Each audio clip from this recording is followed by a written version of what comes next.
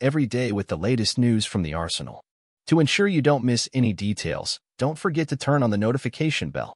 Arsenal are close to recruiting this La Liga midfielder.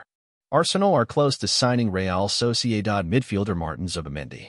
It is understood the Gunners have a clear path to sign the Spanish talent after Barcelona dropped out of the race to sign him recently.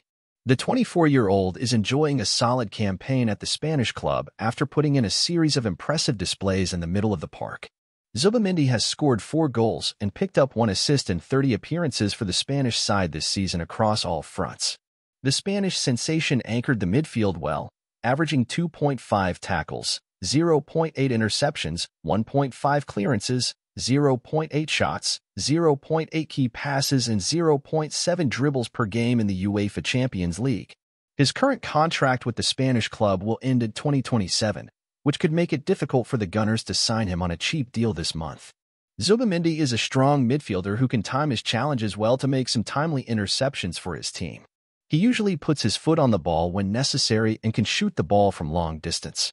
The Spaniard can even create some promising chances for others around him and is also a decent dribbler on the ball. He is primarily a defensive midfielder, but can also play as a box-to-box midfielder if instructed to do so. Zubimendi would bring more strength and strength to Arsenal manager Mikel Arteta's midfield department. He could even help the Gunners compete for many major titles in the coming years. At 24, Zubimendi will only improve as he matures as a footballer and would be a great long-term option for the North London club to consider before the end of the January transfer window.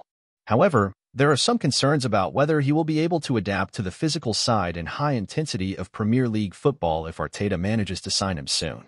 And now, Arsenal fan, I want to hear from you. What is your opinion about this? Put your opinion in the comments. I don't know if you know, but your opinion is very important for the Armory. I'll be back with another news from the Armory at any moment.